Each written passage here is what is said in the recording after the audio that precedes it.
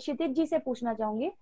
Sir, आपका actually आपने बहुत सारा एक्सपीरियंस आपका रहा है इनटू वर्किंग इन माडा लेआउट्स एंड माडा प्रोजेक्ट्स तो ये मेरे को आपसे पूछना था कि जब हम एक पर्टिकुलर माडा प्रोजेक्ट माडा लेआउट के प्रोजेक्ट के बारे में बात कर रहे हैं या उसका फिजिबिलिटी कैलकुलेट कर रहे हैं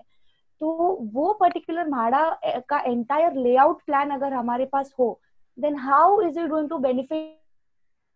us in making the feasibility report और वो लेआउट प्लान से हम क्या क्या डेटा एक्सट्रैक्ट कर सकते हैं Sure. Uh, see, MHADA is a basically a land owning authority है बम्बई में hmm. and at various places they have constructed houses for LIG, MIG and HIG. Uh, इसमें क्या था कि बेसिकली जब लेआउट होता है तो लेआउट में आपको रोड्स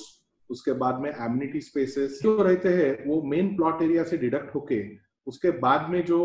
प्लॉट एरिया अलग अलग जो प्लॉट्स किए जाते हैं, वो डिवाइड किए जाते हैं। नाउ उसमें number of units are also calculated is what you get out of these are details which you get out of a layout plan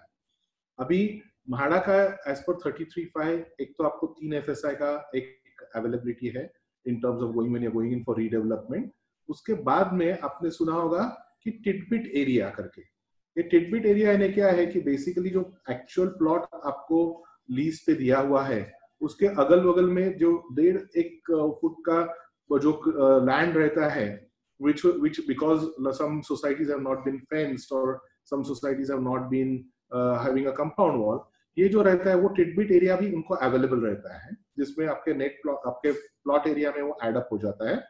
और जो आपका प्रो रेटा एरिया है ये डिटर्मिनेशन करने के लिए जो अभी मैंने कहा था कि एम्यूनिटी स्पेस है या आपका रोड एरिया है और ये जो रहता है is divided by the number of units और माड़ा का एक उनका पॉलिसी है वो हिसाब से proportionately it is given to all of them so in a MHADA proposal typically आपका एफ़ एस आई तीन उसके बाद में pro rata is what exactly you get so आपका अगर आपका ये लेआउट सैंक्शन है और आपके पास लेआउट की copy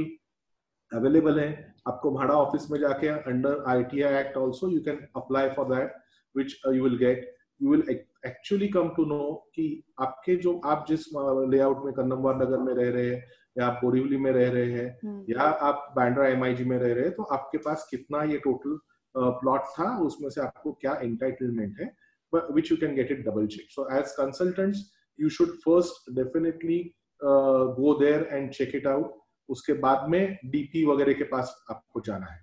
Thank you okay sir thank you sir so that means अगर हमारे पास म्हाड़ा लेआउट है तो म्हाड़ा uh, प्रोजेक्ट से रिलेटेड हमको बहुत सारा detail through the layout plan ही मिल जाता है। तो uh, बहुत सारा डॉक्यूमेंटेशन हमारा वहाँ पे कम हो जाता है when we have one layout plan right